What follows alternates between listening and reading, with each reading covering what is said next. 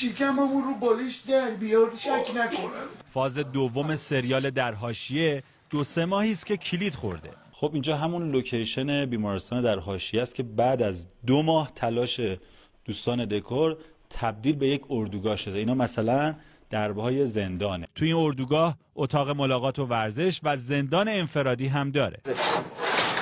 زندان انفرادیه. در حاشیه دو هستش. چهار بازیگر اصلی داره و حدود چهل زندانی با جرمهای مختلف. من کارسوختم گم کردم بردنم زندان.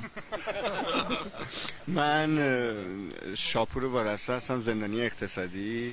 ولی چقدر شبیه بزه شما؟ سریال سی قسمتی که مهران مدیری تا پانزده قسمت ابتدایی بازی نکرده و همچنان هم روزه سکوت دارد. خسته نباشید بگیم از بچه های خبر هستیم. هنوزم که روزه سکوت. در خدمتی در قسمت از این سریال بازیگران اصلی به دنبال راهی برای فرار از زندان هستند. تابلو نکن. آقا سلام. سلام. آقا مجده بدیم. محل فرار رو پیدا کرد والا اومدم کمکش کنم اگه می‌خواد فرار کنه فرار کنه آره. این قسمت به نظر من خیلی بانمکی تر شده. چرا؟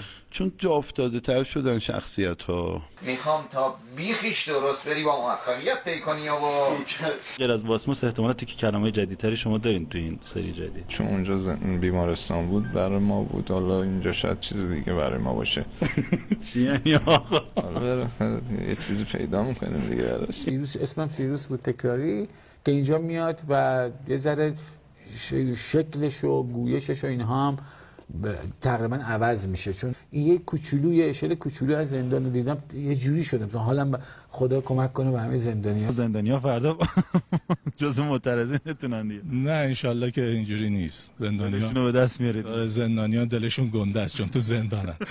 جواد رضویان میگه فضای سریال کاملا مردانه است. بالاخره ما یه طیفی از بیننده های خانم فکر کنم از دست بدیم یه جورایی. عدم حضور بازیگرای خانم تو کار. بازیگر زن چرا داریم تو یه بخشهایی؟ به حال اون اتفاق خواهد افتاد. اون جایی که باید بیان به دیدار این زندانی زندانی بی ملاقاتی که نمیشه.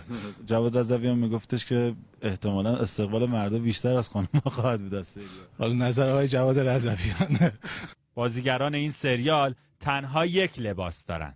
لباسی هستش که یقه قرمز داره که حالا خلافشون بیشتره و لباسی که حالا یقه با یقه آبیه که خلافشون. کم خدا رحمت کنه بابامو شرکت نفت کار می‌کرد. لباسش اینجوری بود. آره. روزای من- اول غمگین خیلی غمگین می‌شدم لباس رو می‌دیدم. آبادان من بابام یه لباس داشت سر کار می‌رفت خدا خدا. رحمتش ما سعی کردیم که هواشی رو از خودمون دور کنیم. تمام تلاشمون هم این بود که این هواشی کمتر بشه با رایزنی هایی که کردیم.